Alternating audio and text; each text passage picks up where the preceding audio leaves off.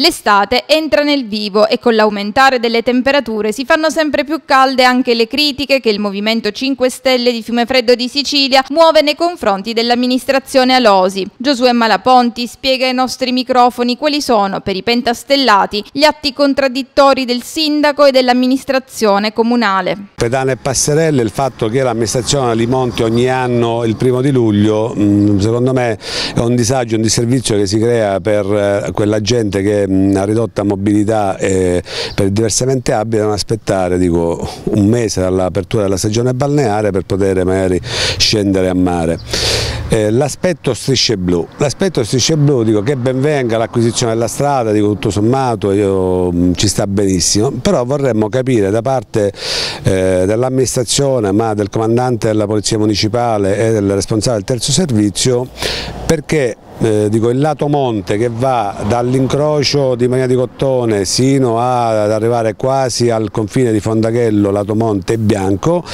invece dall'incrocio andando verso il confine con Calatabiano, quindi sul ponte, al semaforo del ponte sul fiume Freddo, invece sono blu, lato mare e lato monte. Dico che ci spieghino qual è la motivazione e la scelta di questa eh, condizione. Un plauso va sicuramente all'amministrazione per la scelta dell'assistenza bagnante a mare, dico che è l'unico comune che in realtà eh, garantisce questo tipo di servizio, però per bocca del sindaco dice anche che non è un servizio obbligatorio. Un servizio che non è obbligatorio, allora vorremmo capire perché lo fai se non è obbligatorio. Tra l'altro rincara la dose dicendo che il costo del servizio era al 50% a carico della regione, il 25% a carico della ex provincia e il restante 25% a carico del comune e ancora di più il sindaco aggrava la posizione dicendo che almeno da oltre tre anni nella regione e nella provincia ha mai dato questo contributo, quindi non è obbligatorio, non ti danno soldi, bastano i cartelli che ci sono montati ogni ingresso a mare dove ti dice che non è assicurata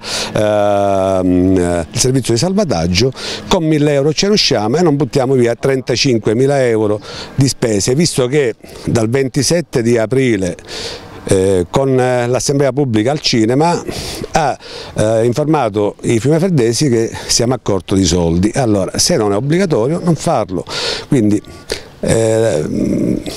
quantomeno chiediamo all'amministrazione di avere mh, contezza di quello che si fa e di dare quantomeno risposte agli operatori commerciali,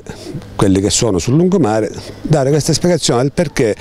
2 km circa, 2 km 7 di strisce bianche lato monte e 500 metri di strisce blu lato mare e lato monte. Su questo attendiamo chiarimenti. Si poteva anche scegliere di fare tutte strisce blu perché dico, non è un, un, problema del codice della strada, è la scelta del proprietario della strada, potrebbe essere anche questo il fatto di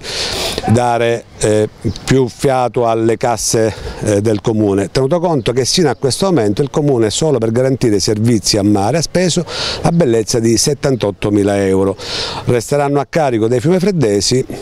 le 100 euro, le 130 euro, le 120 euro di eh, tonnellate eh, sul conferimento della, eh, in discarica sul totale delle tonnellate, quindi oltre le 78, poi magari a fine stagione al 30 settembre chiederemo all'amministrazione quanto sono le tonnellate e quanto abbiamo speso di conferimento.